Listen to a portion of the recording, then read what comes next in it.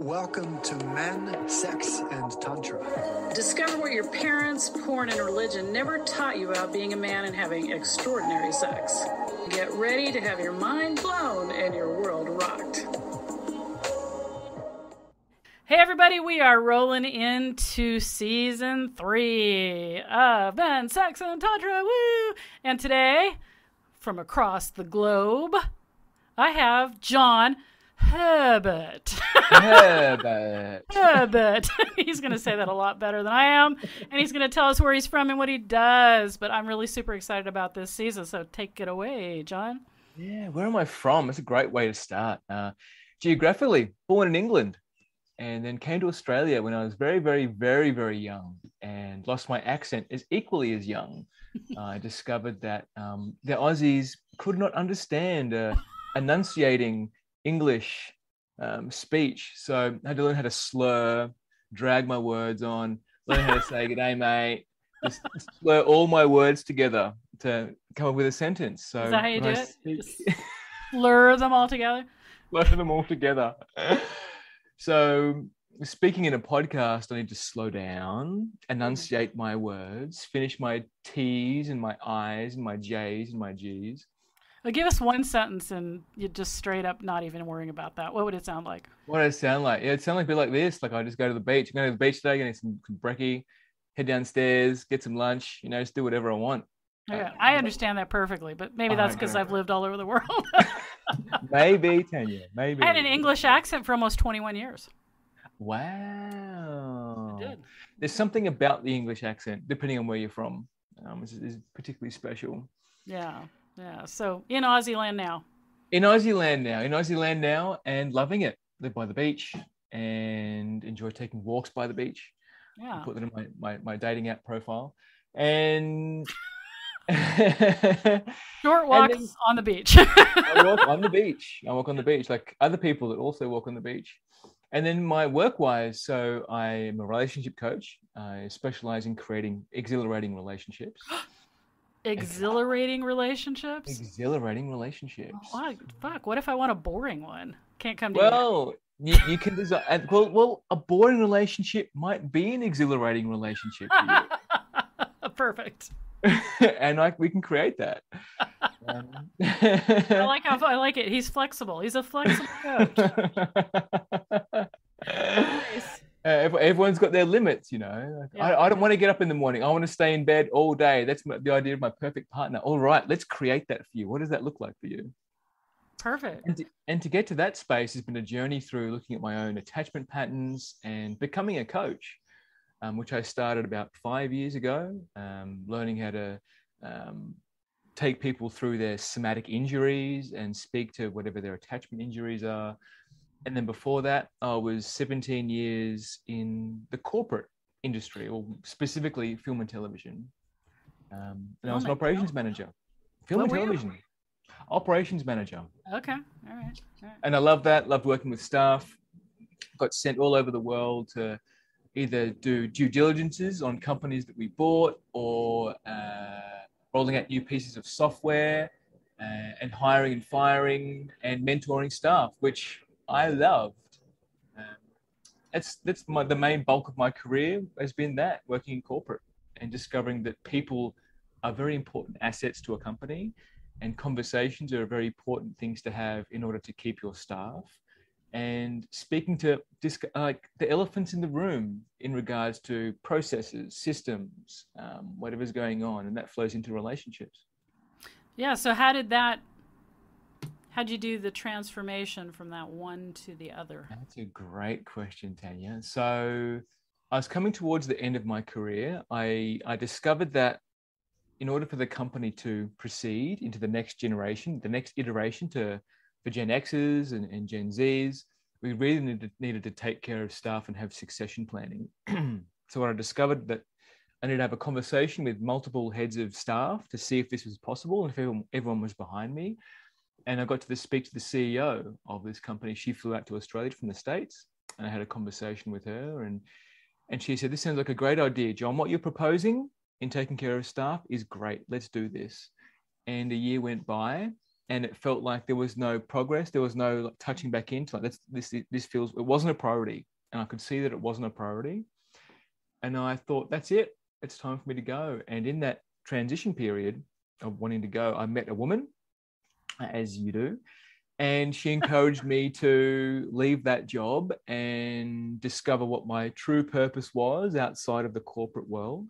And so I did that. I left my job, and she had a, a cookbook that she'd written. Um, it was um, uh, plant based, naturally sweetened, and gluten free. And she referenced that book to 1,500 journal articles around nutrition and, and glycemic index and all this kinds of stuff. Um, and very, very intelligent. And she ended up becoming chronically ill. So I ended up being a full time carer for her after my corporate career for three years. Wow. That's Yeah. intense. Yeah, it was nuts. It was absolutely nuts. So me being thrust into this, um, well, choosing to go there, and also part, I had no idea about attachment injuries. I had no idea about um, trauma bonding, um, uh, and all that kind of stuff. So I was like, yeah, cool. I've agreed to this. I'm going to do this. You know, I'm committed.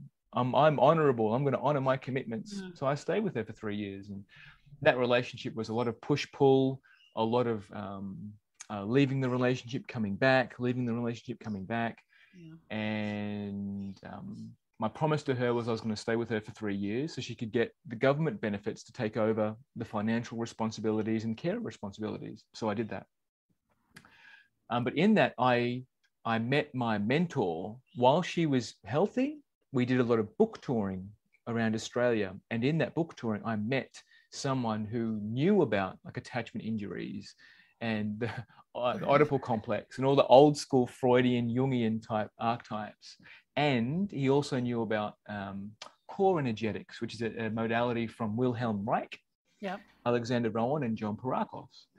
And they tie in sexuality with the body structure and how the body is formed, your armoring is formed in your musculature, and how your body shape transforms over as you grow up. So I left her and started to be mentored by my mentor and progressed to where I am today. He taught me his techniques of the John Pierrakos modalities, and I've just kept on iterating my self-development work, like gone to Brazil, sat ayahuasca, um, learned all kinds of other modalities to to be where I'm at today. Awesome. Well, that's yeah, quite the journey. And then you and I met on Facebook. I uh, yeah, it's the some of, I make some of the weirdest connections on Facebook.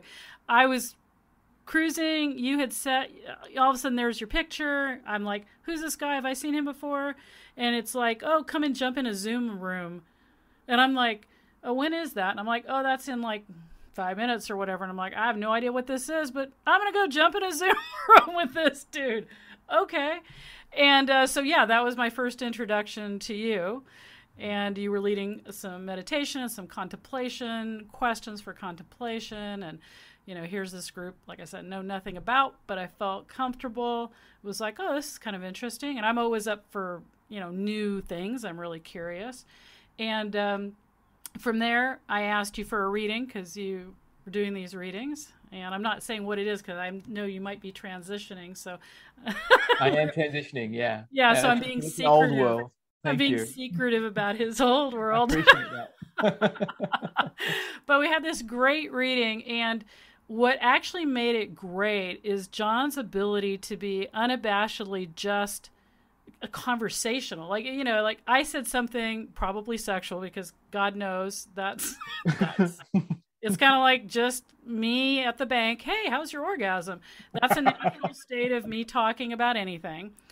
And uh, he was awesome and just kind of rolled with that. And we just had that funny kind of vibe then going with the rest of the conversation, which was refreshing and great and just didn't feel like it had to be anything other than fun in the time, which I rarely find anybody able to do.